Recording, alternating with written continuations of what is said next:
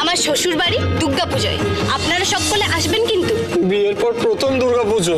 খাটিয়ে মারছে। রুদ্রিক ব্যানার্জি পরের বছর খাটাবার জন্য তো আর আমি থাকব না। থাকবে না? ওই মহিষাসুর মানে রাজকে বিয়ে করতে আছে? দেখাচ্ছি। ওর মাথায় যদি এই গরম খিচুড়ি না ঢেলেছি না?